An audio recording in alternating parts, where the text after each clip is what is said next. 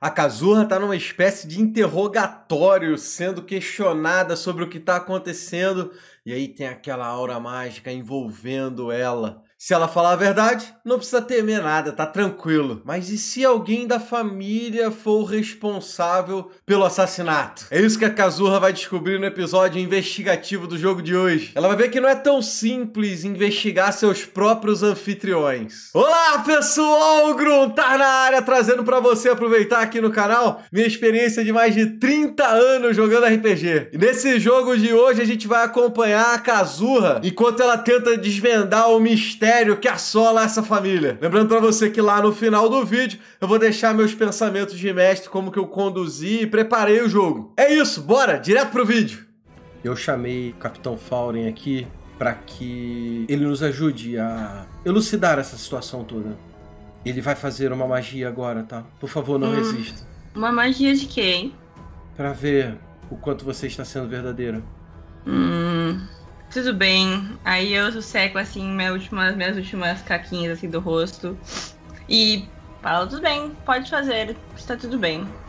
Daí você vê ele colocando a mão na cintura dele, tem alguma coisa na cintura que ele aperta, você não vê exatamente o que é. E aí ele fecha o olho. Quando ele abre a mão e faz assim, uma energia se espalha pela sala. Uma energia prateada, sabe, Kazuha? Uhum. que se espalha pela sala, bate em você, bate na galera, você sente essa energia uh, afetando você. Você vai tentar resistir? Não. Beleza. É, essa energia se espalha e aí a, a moça ela olha para você e ela fala assim: Você assassinou nosso administrador, Torel? Não, com certeza não. Você vê que ela foi direta e reta, tá ligado? E aí você responde não. Ela olha pro. Ela olha pro Fauren, pro capitão, ele faz assim. Você sente que ela dá uma relaxada, Kazuha. É, parece que agora ela confia em mim, né? Minimamente. Aham. Uhum. Aí ela fala assim: Você ajudou alguém a matar o capitão? A, a matar o administrador? Não, como eu te disse, eu não faço nem ideia de onde estou, nem quem é essa pessoa, nem quem é você. De novo ela olha pro, pro capitão e de novo ele confirma que você tá falando a verdade. Eu peço desculpas, mas era necessário. E aí ela olha pro, pro Faurel e ela fala assim: Vá, capitão. Eu vou conversar um pouco mais com a Kazuha. Tente encontrar o responsável por isso. E aí o capitão faz o sinal para ela e sai da sala. A mãe olha para você e fala assim: Eu precisava ter certeza. Eu vivo no meio de pessoas que são muito boas contadoras de história. Você vê que ela queria falar mentirosas, mas ela fala assim pra, pra não. pra não prender. Então eu aprendi que é sempre bom desconfiar um pouco. É, é sempre bom desconfiar de todas as pessoas, não é mesmo? Um mundo como ele é hoje é muito perigoso. Mas você está falando a verdade, Kazuha. Sim, eu estou. Eu estou, na verdade, confusa e um pouco desesperada e um pouco triste também, porque, como eu te disse já algumas vezes, continuo não sabendo onde estou, nem onde estão meus amigos. Eu volto a ficar com o nariz escorrendo e pego o lencinho. Seus amigos estavam no teleporte com você? Nós entramos um por vez. E eu não sei bem o que aconteceu. Realmente não sei. Mas nós não fomos parar no mesmo lugar. Na verdade, eu não sei para onde é que devíamos ter ido a princípio. Porém, eu sei que eles não estão aqui. Afinal, vocês teriam achado eles se eles tivessem todos caído na sua propriedade, não é mesmo? Não, mais, pois é, mais ninguém estranho apareceu por aqui. Mas como eu lhe falei, você está na cidade de Andraf, no Vale dos. Naur. Andraf não me acrescenta em nada, pois eu não conheço, não conheço também. Me parece até que nem estamos em Fantir. Fantir? Tá aí um nome agora que eu não conheço. O quê? Eu não sei que lugar é Fantir. Como assim? Fantir é tudo. Você não sabe o que é Fantir? Você nunca ouviu essa palavra? Não, Kazuha. Oh, a Kazuha fica perplexa. Kazuha, você fica bolada, sim. Mas como eu tinha te falado antes, você sabe que o teleporte deu errado. Não, sim, mas E- é, é que tá, o quão errado, né? Bastante errado, pelo jeito. É, aparentemente Você o mais errado possível. Tá em algum outro lugar, provavelmente algum outro plano, sabe, Kazuha? Você tem essa ideia, essa noção. Você conhece mais ou menos esse tipo de coisa. Você sabe que o mundo, o universo, digamos assim, existem outros planos de existência. E provavelmente deu merda no teleporte e vocês foram parar em algum. Você foi parar em algum outro plano. Mas isso te deixa. Apesar de você entender, isso te deixa preocupado. Preocupada, porque. Será que seus amigos estão nesse mesmo plano? É, Será que eles foram parar muito longe? Será que eles foram pra consigo- outro plano? Eu, eu consigo abrir porta, portais dimensionais também, Bruntar. Mas Ah, é? eu consigo escolher, por exemplo, sim, supondo, né? Se eu quisesse voltar pra Frontier, eu conseguiria abrir um que vá pra Frontier? Teoricamente, sim. Teoricamente, sim. Só que eu acho que isso também não resolveria tanto o meu problema, porque eu não sei se meus amigos estão aqui. Eu prefiro, né, primeiro checar se eles estão aqui, porque eu tenho como ir embora. Eu acho, né? Tô pensando aqui. É... Então, eu falo ali com a. Com a Isandra. Eu paro um pouco e reflito e falo pra Isandra: Isandra, eu gostaria de pedir pra você um favor. Eu, eu gostaria de ficar aqui e, de repente, ajudar a entender o que aconteceu sobre esse assassinato do seu administrador. Mas eu peço que, se você tiver isso ao seu alcance, você poderia contatar os arredores, entender se mais alguém como eu tenha vindo parar aqui, porque talvez meus amigos também estejam aqui. E eu preciso encontrá-los se eles estiverem. Eu posso perguntar sobre seus amigos pela cidade. Sem problemas. Você diz que pode nos ajudar a encontrar esse assassino? Por que você diz isso? Você acha que nós não somos capazes? Não, tenho certeza que vocês são capazes, mas eu sou boa em conversar e eu acho que talvez nós possamos investigar as pessoas que vocês acharam juntos. De repente, minha ajuda sirva de algo. Não tenho certeza que vocês poderiam sim continuar sozinhos, mas uma ajuda a mais sempre é bem-vinda. Pelo menos de onde eu venho é assim.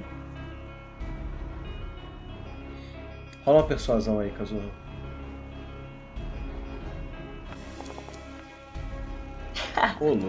Eu tô destruindo minha persuasão hoje. Essa mulher está na palma da minha mão, Gunter. Kazuha, você vê que ela fica olhando pra você de forma curiosa. Ela baixou um pouco aquela guarda de mulher é, poker face total. Então você consegue agora sentir nela variações de humor e, e de é, comportamento. E você fala essa parada, ela fica olhando pra você e ela dá até um sorriso. é, falando assim, você é realmente muito boa em conversar, Kazuha. Eu gostei muito de você. Agora que eu percebi que você está, agora que eu tenho certeza que você está falando a verdade, façamos assim. Dariane vai te levar até o segundo andar, onde Torel foi morto. Ela olha pra, pra filha, mostre a cena do crime pra ela, Dariane. De repente ela pode nos ajudar. Nossos guardas podem ter deixado alguma coisa pra trás. Aí a menina dá um sorriso. Você vê que a menina agora tá bem à vontade. Ela percebeu que a mãe dela tá de boa e se a mãe dela tá de boa, ela tá de boa também, sabe? Você tem essa essa sensação. E aí ela fala, ela olha pra você ela fala assim: "Vem, vem, vem, vem. Vou te levar lá em cima." Tá bom. E aí eu vou seguindo ela. Beleza. Vocês saem. Os guardas que estavam ali, que vieram é, atrás de você, é, junto com você, eles saíram, sabe? Foram continuar as buscas, continuar rodando por ali. E você volta para aquela sala principal e sobe pelas escadas. E tem um corredorzão que vai pro resto da propriedade. E aí você conta uma, duas, três portas à direita. E é uma porta que tá aberta. Não tem ninguém ali, tá vazio. Mas aí a, a Dariane ela olha pra você ela fala assim: É aqui que o Torel da família Ulad dormia, morava. Esse, esse, era o quarto. Ele, ele morava aqui com a gente. Ele. Você vê que ela para um pouco. Ela claramente tá triste. Ele morava aqui com a gente há muito tempo. Eu falo pra ela, Guntar, vocês têm algum, alguma suspeita do porquê isso poderia ter sido acontecido? Ela. Eu não faço ideia. E aí ela entra no quarto. E aí você vê o quarto, Kazurra. Ele aparentemente tá meio que intocado, como se a galera não tivesse mexendo direito na, não tivesse mexido direito na cena do crime. Você vê o corpo caído no chão, é a primeira coisa que você percebe, tá? Tem o corpo tá no chão, é, ele tá de barriga para baixo, a cara dele virada para o lado. Você consegue ver que deve ser uma pessoa de mais ou menos uns 50 anos. O cabelo dele é cortado baixinho. É, ele é grisalho, bem grisalho. Já tem umas entradas aqui assim, então você vê que o cara. Ele tava ficando meio careca, então ele corta o cabelo bem curtinho. Ele, ele morreu como, doutor? Você percebe uma poça de sangue no chão e dá para ver que nas costas dele tem um ferimento. Você vai. Calma aí, deixa eu descrever depois a gente começa a investigar. Mas uhum. claramente foi um ferimento nas costas dele, tá? É... O quarto é um quarto bonito, bem ajeitado. De certa forma, Kazuha, você sente que ele é um quarto mais simples do que o resto da casa. Ele não tem tantas joias espalhadas. Ele é arrumado, é ajeitado, mas ele não é de ostentação como o resto da casa, sabe? Uhum. É, ele não tem tantas joias, não tem esse monte de quadro. Aliás, não tem nenhum quadro na parede. Ele parece ser um quarto mais funcional. Ele tem uma cama grande. Ele é uma cama grande, uh, tem baú no canto, tem escrivaninha. Tá, posso começar? Pode. Tá, primeiro. Você quer olhar o ferimento, como que ele morreu? É, eu queria entender como é que ele morreu, mas a primeira coisa que eu ia perguntar pra garota é se a arma do crime estava lá quando eles encontraram o corpo. E enquanto eu tô perguntando isso pra ela, eu quero prestar atenção, claro, no, em como que ela tá lidando, sabe, com a situação. Uhum. Se ela parece nervosa, se ela parece o quê, sabe? Quando ela saiu do quarto, da, da sala com a mãe, ela tava. Faz... Vamos lá. Duas coisas. Faz um teste de insight. Tá. Ixi, insight eu sou só o. Nossa! 21, beleza. Agora faz um teste de investigação. Caraca. Eu tô. É que tudo que a gente tava fazendo são as minhas características mais fortes. Investigação. Caraca, mano. Então tá. Beleza, é o seguinte, Kazurra. É... Você percebe que a menina, ela de certa forma, ela é bem volátil, sabe? O humor dela. Quando ela te encontrou lá fora com o irmão, ela tava meio agressiva. Depois ela ficou de boa. Quando a mãe dela mandou ela levar você até o quarto, ela tava até animada. E aí depois, ela parecia triste porque o cara morreu. Uhum. Agora que você começa a investigar, você percebe que ela, ela, ela passou. Ela continua triste. E ela olhando o corpo ali no chão, você vê que essa tristeza aumentou. Mas de certa forma você percebe que ela ficou meio puta como se ela tivesse meio revoltada. Uhum. Você sente que ela ficou meio agitada, sabe? Tá. E aí eu pergunto da arma pra ela. Ela, ela fala assim: Não, não tinha nenhuma arma. E você tirou um 27 na investigação. Vamos lá. Você percebe que esse cara morreu num golpe pelas costas. uma espécie de adaga ou alguma coisa assim, alguma coisa perfurante, só que alguma coisa bem larga. Não é uma, uma faquinha fininha. Foi uma, uma lâmina larga, sabe, Kazuha? Que pegou por trás dele, pelas costas dele. E eu imagino que assim. É... Qual a altura que mais ou menos tá esse furo, sabe, nas costas dela? Na altura do peito. Como se. Bem alto. Pegasse então. alto para perfurar o coração, sabe? Aham. Uhum. Foi um golpe bem dado, sabe, Kazuha? Sim. Uh, você posso... percebe algumas outras coisas. Fala, fala tá. primeiro. Fala você primeiro. Eu queria, eu ia cutucar essa ferida aí, porque eu fiquei pensando, como você falou que é um, de repente um corte mais largo, me, me fez pensar assim, em talvez um pedaço de vidro, de espelho, sabe? Ou até, enfim, uma coisa que, que solte lascas quando você passa, sabe? Se, não for uma adaga. É uma você... coisa provavelmente deixou resquícios. Tá. Você dá uma olhada, Kazuha, se tem algum resquício, alguma coisa assim, mas você percebe que não.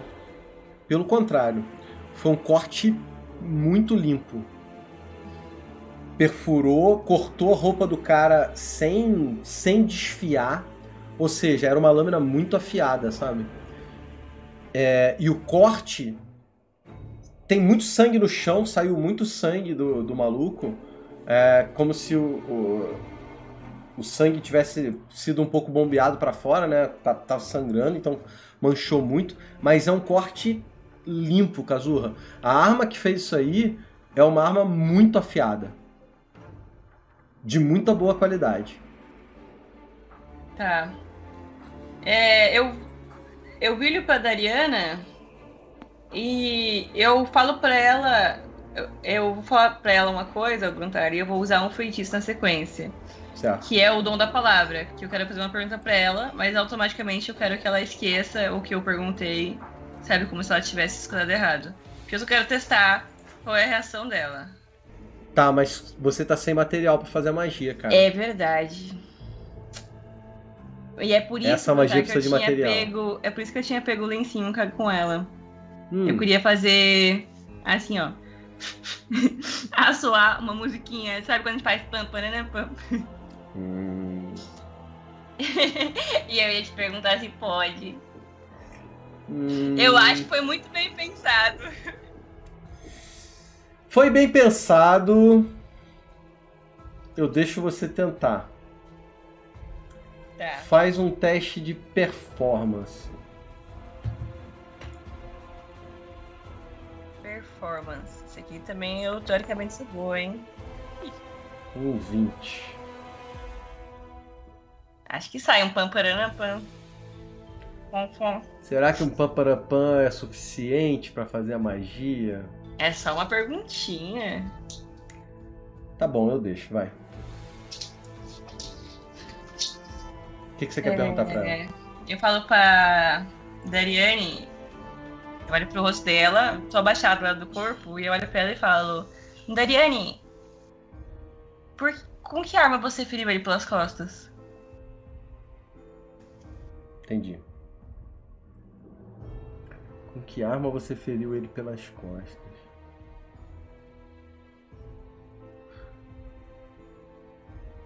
Seguinte, Kazurra. É... Você... você pergunta isso ela toma um susto. Ela dá um pulo para trás, ela olha para você assim e ela fala assim: Como assim? Não. Eu, eu sinto não verdade nada. nela? Oi? Eu sinto verdade nela?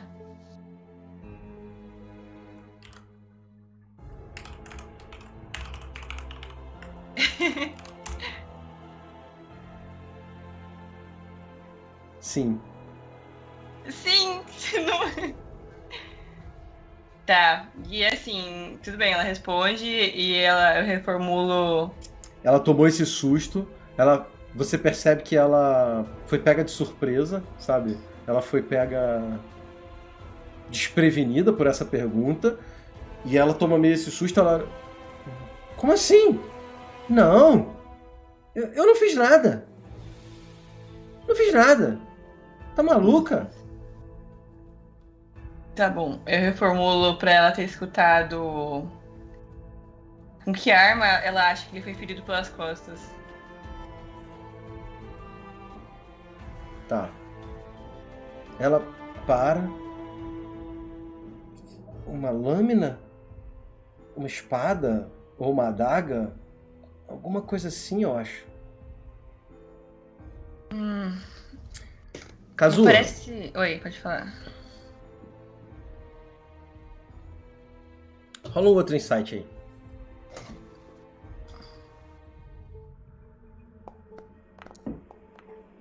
Não vai me pegar, Guntar. Um 20. Algo errado não tá certo, Kazuha. Hum. Você não sabe exatamente o que é, e ela parece estar falando a verdade.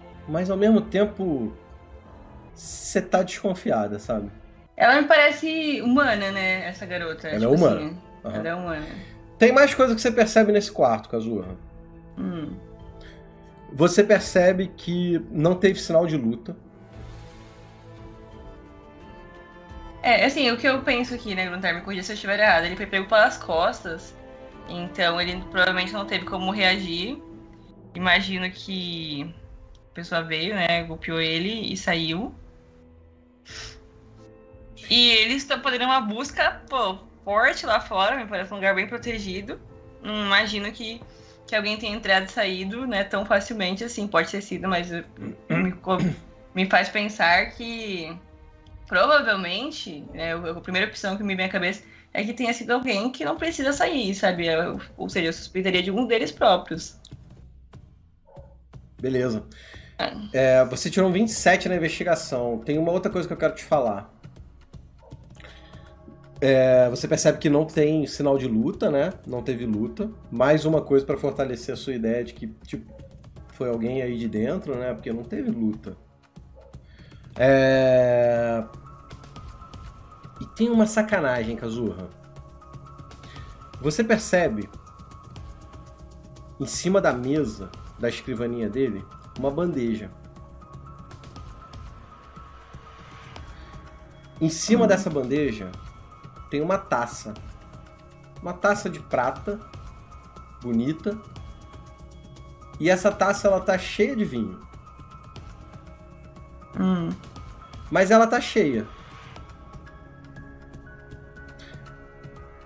Só que o detalhe não é esse. Você... Sabe quando você coloca um copo molhado em cima de uma bandeja? Uhum. Fica, a marquinha. Quando você tira o copo, fica em volta assim, molhado? Uhum. Tem uma taça cheia e do lado dessa taça tem uma marca dessa, de molhado. Como se tivesse derramado vinho assim um pouco e tem marca de outro copo, de outra taça. Tá. É...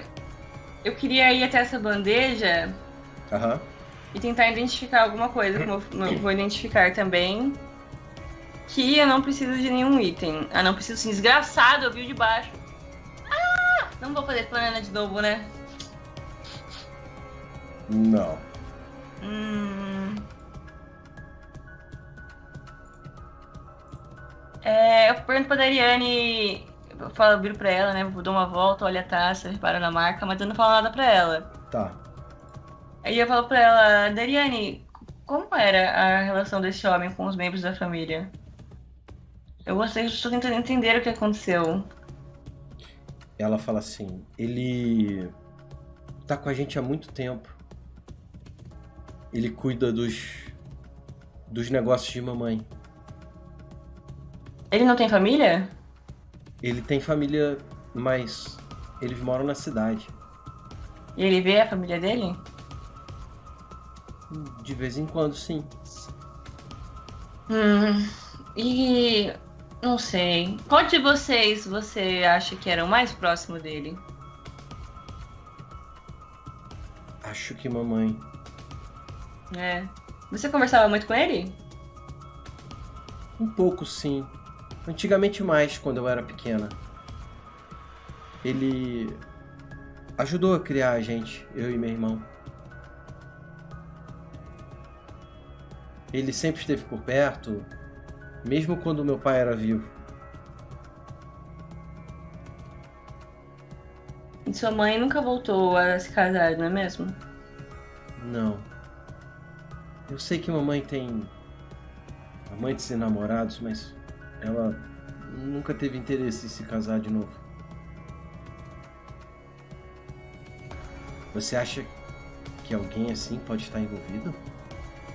Ah, eu não tenho certeza. Eu estou pensando. Estou pensando apenas em todas as possibilidades, pois. Ou. Ou alguém entrou e saiu daqui sem ser visto, ou alguém não precisou sair daqui, entende? Porém, pode ter sido qualquer pessoa. Então é importante que a gente converse com todos vocês para que a gente entenda todos os lados da história. Você acha que alguém aqui da mansão pode ter matado ele? Nunca se sabe, Dariane. As pessoas, como mesmo sua mãe disse, não podemos confiar em ninguém. Então todos precisam ser investigados.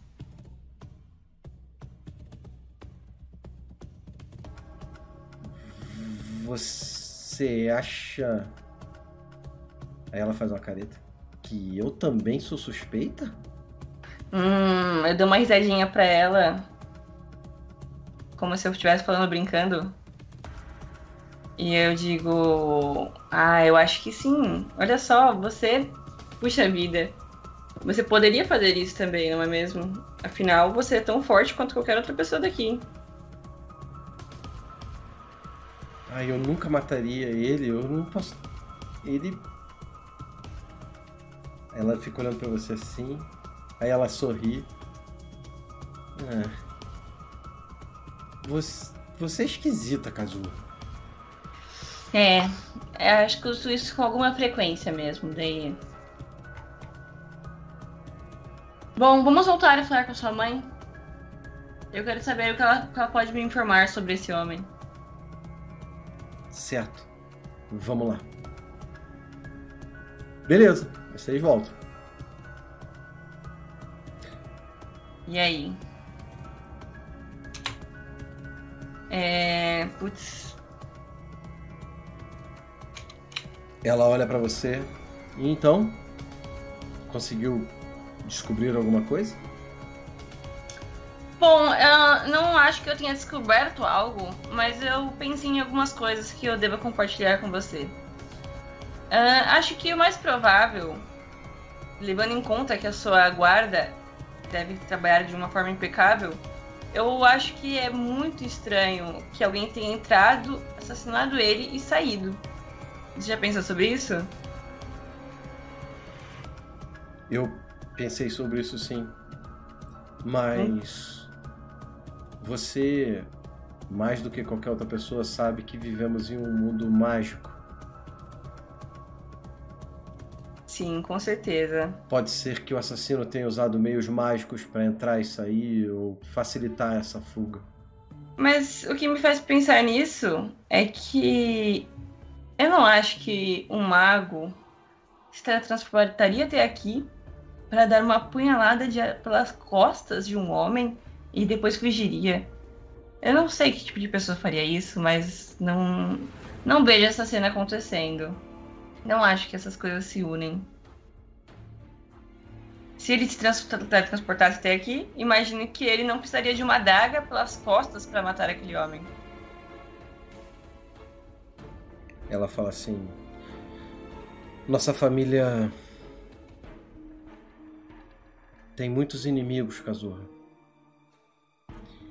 de certa forma eu aceitei que você nos ajudasse porque você me parece completamente perdida e você não seria alguém que estaria infiltrada aqui ou algo desse tipo. De fato, eu não tendo a ter uma opinião tendenciosa se não tem um lado para atender, não é mesmo? Por aí. Eu dou uma risadinha pra ela.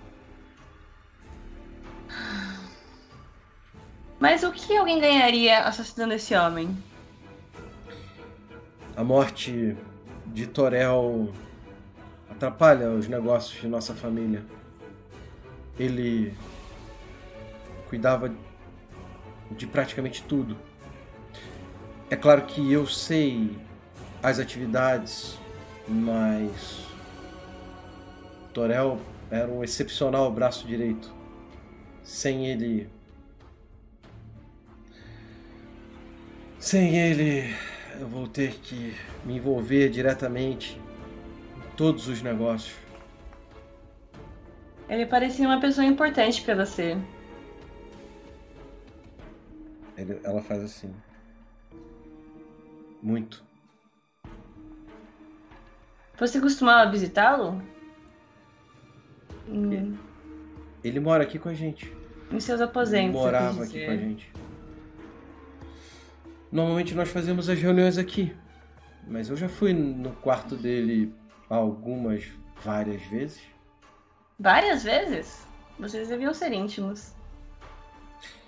Ele mora com a gente há muitos anos, Kazuha. Aí ela para, morava. Hum. Eu tenho uma, uma proposta pra você, Isandra. Eu acredito que talvez você já tenha feito isso, mas eu vou te perguntar. Aquele homem que veio aqui antes, o que fez o feitiço pra revelar a verdade, Sim. você já tentou aquilo com todas as pessoas dessa casa? Ou você simplesmente assumiu que elas eram pessoas confiáveis? Eu assumi que eram confiáveis, sim. Certo. E você não quer repensar sobre isso? Talvez. Eu acho que podemos fazer isso. Seria interessante.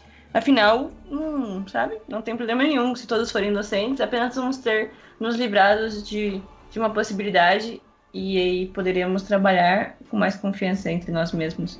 Pois, não sei quanto a você, sem ter certeza de quem eu posso confiar, não consigo trabalhar assim, sabe? Você vê que ela fica pensativa, sabe, Kazuha? Ela fica quase que preocupada. E ela fala assim: "Você você está certo. Tudo aconteceu muito rápido e eu esperava encontrar o assassino e puni-lo. E simples assim. Mas. Você está certo. Certo, então. Então chame o homem. Vamos fazer isso, vamos resolver isso e dar o próximo passo. Certo. Vamos fazer isso.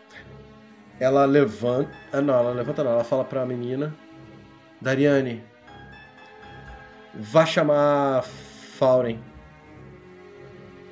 Eu preciso conversar com ele. Kazuha deu uma boa ideia. Beleza, a menina confirma com a mãe e sai. Tá bom. Tem algo mais que você queira, Kazuha? No momento, eu apenas gostaria daquilo que te pedi, que tente contatar a todos os vizinhos para que veja se mais alguém apareceu em suas terras, pois podem ser os meus amigos. E eu estou preocupada com eles. Nós estamos um pouco afastados da cidade. Nossa propriedade fica ao norte, mas eu posso fazer isso para você. E aí você vê que ela abre a gaveta. E aí ela pega alguma coisa dentro da gaveta. Alguma coisa não, você vê, é um anel. Ela coloca o anel no dedo e ela fecha o olho assim. E aí ela abre o olho, tira o anel e bota de volta na gaveta. E aí ela fala assim: Quando tiver alguma notícia, eu te falo. Certo. Vamos esperar o rapaz da cavalaria chegar? Sim. É, Dariane deve trazer Faurel em breve. Você quer beber alguma coisa? Ela levanta, vai até uma, um balcão, tem umas garrafas assim. E ela começa Não. a servir um- uma bebida pra ela. Tá, eu digo pra ela que eu aceito. E enquanto ela tá de costas fazendo isso, eu dou uma boa olhada assim no lugar, especialmente porque eu quero ver algo, claro, mas eu quero ver se de repente eu não vejo em algum lugar, ah, não sei, nas paredes, assim, uma arma de enfeite, sabe? Algum, porque como você disse, parecia que era uma arma muito boa que fez aquele furo. Então, de repente, ela é- seja algum enfeite exposto ou alguma coisa que fica ali no- nos aposentos dela, caso seja ela, sabe? Tá. É. Beleza, ela começa a servir uma bebida pra ela e pra você. Rola um cheque de percepção pra mim.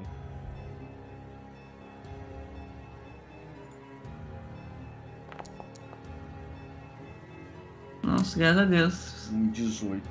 Beleza. Você dá uma olhada numa geral no- no- nesse quarto, nesse lugar. Você não vê nenhuma arma imediatamente. Você percebe que embaixo da escrivaninha dela, presa meio que embaixo da mesa, tem uma adaga assim. Tá meio Ixi. escondido. Não tá muito escondido, mas tá escondido ali, sabe? Mas é a única coisa que você vê de arma assim nessa sala, nesse lugar. Tá bom. Posso mandar uma mão do mago pegar ela ali pra eu dar uma olhada? Nada, nada escondido, assim, só a mãozinha vai lá, vai pegar. Mage Hand é só verbal e somático? Pode. Então é isso. Enquanto ela ainda tá ali de costas, eu nem me mexo, mas aparece uma mãozinha e puxa a daga de onde ela consegue puxar, ali que eu imagino que seja virado pra onde ela fica sentada. E eu e a mãozinha entrega a daga pra mim. E com a daga na minha mão eu quero usar o identificar. Ah, não, identificar não dá. Ah! Bom, eu dou uma olhada nessa daga e eu meio que lembro assim a largura daquele ferimento. E eu quero entender se parece uma daga que poderia ter feito aquele furo naquele homem. Tá. É, A sua mão mágica pega essa adaga, traz até você. Você vê que ela é uma adaga bem curva, assim. Na ponta dela tem uma joia, uma gema vermelha, bonita pra caramba. E no- isso na, na ponta de cá. E aqui no tomo, no, no pomo, ah, onde separa a, a pegadura e a lâmina, tem uma outra gema que parece ser uma gema irmã que tá do outro lado, sabe? E a lâmina dela, o Kazuha, ela é bem curva. Sabe aquelas adagas árabes? Bem curva. Sei. Você dá uma olhada, Kazuha, se tem a mesma largura, né? Se, se essa adaga pode ter sido a adaga que matou o Manolo. E aí, o que, que eu acho? Aparentemente não, Kazuha. Aquela lâmina lá era muito mais larga e essa lâmina curva, ela deixaria um ferimento um pouco diferente Maior. até onde você entende. Tá. Bom, A a moça, ela a Isandra, ela olha pra você, ela tá com a bebida, ela se vira assim, ela tá com um copo bonito, largão assim, como se fosse um copão de uísque, mas é um pouco mais largo, sabe? uhum. E ela vai te entregar e ela vê a adaga na sua mão. Ela olha pra mesa dela, ela olha pra sua mão. e aí eu entrego a adaga pra minha mãozinha flutuando e a mãozinha leva de volta pra ela. E eu fico, "Ih, Tava vendo. Ela te entrega a bebida. E aí ela fala assim: Quer dizer que eu também sou suspeita. Bom, por que você não seria, né, Sandra? Porque eu sou a mais prejudicada com a morte dele. Sim, é o que você diz. E eu acredito até um certo ponto, mas não custa investigar, né? Mas agora já não parece mais culpada, afinal, olha só, essa daga de mesa, ela parece que tá de boa. Então tá tudo bem. Aí eu pego a bebida que me deu e fico bebendo. Só de olhar você sabe que não foi a minha adaga que matou ele? Eu suponho que não, dado o ferimento e o formato da sua daga, eu, pelo que eu entendo, não me parece, não. Você viu lá o ferimento? O que, você acha? Poderia ter sido feito por ela? Eu não sei dizer, eu não tenho esse tipo de especialidade. Nossa, que coisa, você me parece o tipo de mulher que sabe um pouco sobre tudo, sabia? Ela dá um sorrisinho, ela fala assim: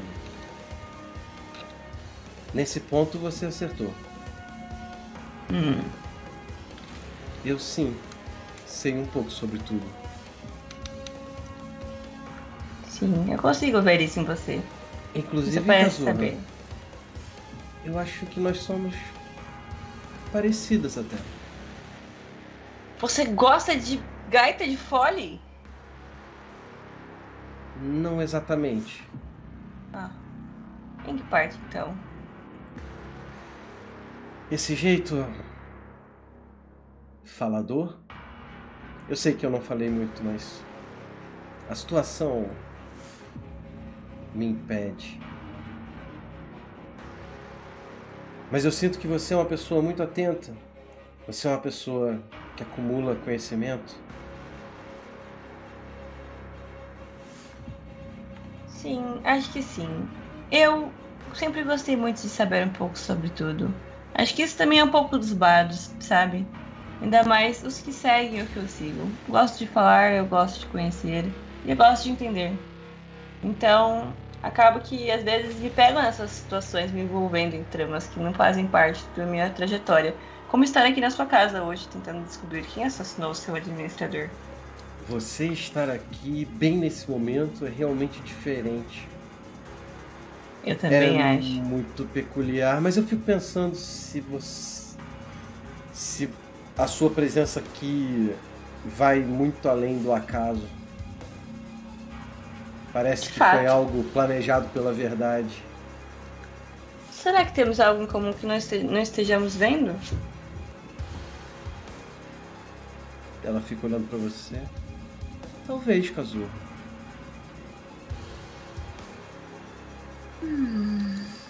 Mas você não gosta de gaita de fole, então fica difícil eu supor outra coisa. Ela. Ela sorri, ela fala assim: instrumentos nunca foram o meu forte. Apesar de eu adorar música. Você deveria tentar, é muito legal. E de repente ser bardo pra você se torna mais interessante do que a governança da família, sabe? Deve você ver a sua vida tocando gaita de fole por aí. Você já pensou nisso? É, não, nunca pensei nisso. É divertido. Eu prefiro aplicar meu tempo ou nos negócios, ou nos estudos, ou nas poções. Sabe, Kazuha, eu sou até considerado uma certa. Ela faz uma careta. Ovelha negra da família. Porque eu nunca me interessei tanto pelo ofício que nos fez tão ricos e influentes. É, e qual é esse? A fabricação e confecção de joias.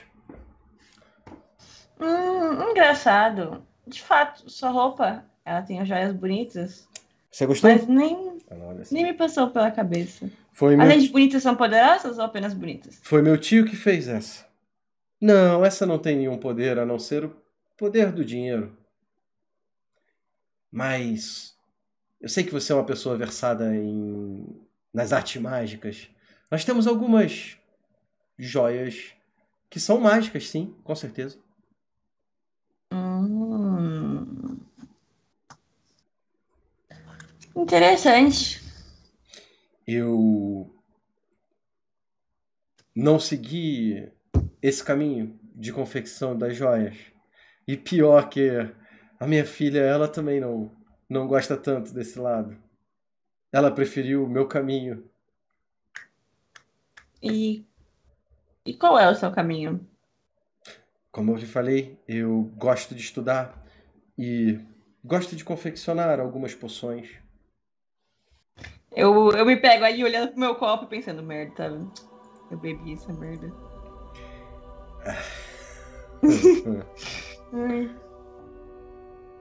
Hum, poções, vinho, veneno.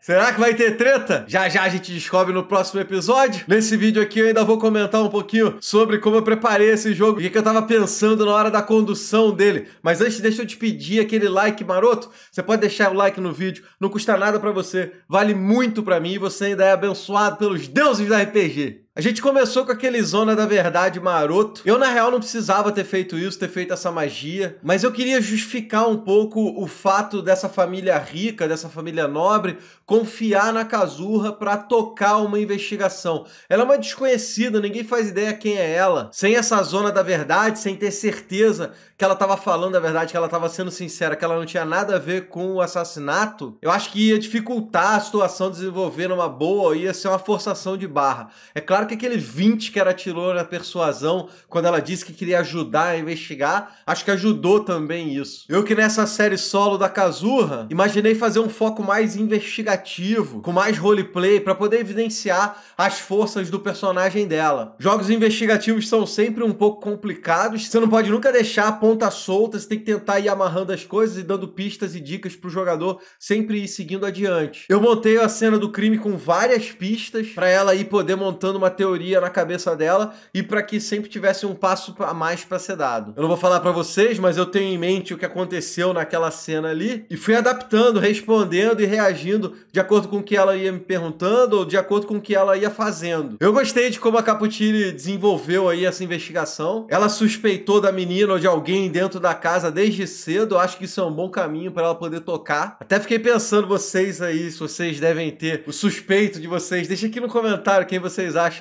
que realmente fez essa bagunça aí na família. Uma coisa que eu achei bem legal é que ela pensou em usar a zona da verdade do capitão para poder ela mesmo ter certeza de quem ali na família tá falando a verdade ou quem ali tá mentindo. Maneiro ela usar uma ferramenta que usaram contra ela a favor dela. Cara, a Caputini mandou muito bem nos dados, muito sortuda, conseguiu fazer basicamente tudo o que ela queria fazer. Eu fiz inclusive alguns testes aqui às cegas, escondidos, que às vezes o resultado do dado já revela um pouquinho do que tá acontecendo. Então, alguns testes de intuição e percepção eu fiz aqui às cegas, às escondidas, justamente para não interferir na reação do jogador. Se você curtiu esse vídeo e quiser apoiar na criação de conteúdo, tem três grandes maneiras que você pode fazer isso para estar tá ajudando. A primeira delas é clicar aqui em cima no nosso financiamento coletivo. É lá no Catarse e você pode contribuir diretamente com a nossa mesa, com o nosso canal, com essa nossa criação de conteúdo. A galera que apoia no Catarse ainda tem uns mimozinhos, tem sorteio todo mês, ganha token, música, mapa, essas paradas para poder aproveitar. Aqui embaixo eu deixo sempre o link de afiliado da Amazon. Se você fizer qualquer compra na Amazon partindo desse meu link, você não paga nada mais por isso e também vai estar tá ajudando financeiramente porque eu ganho uma comissão. Então se você comprar meia, eletrônico,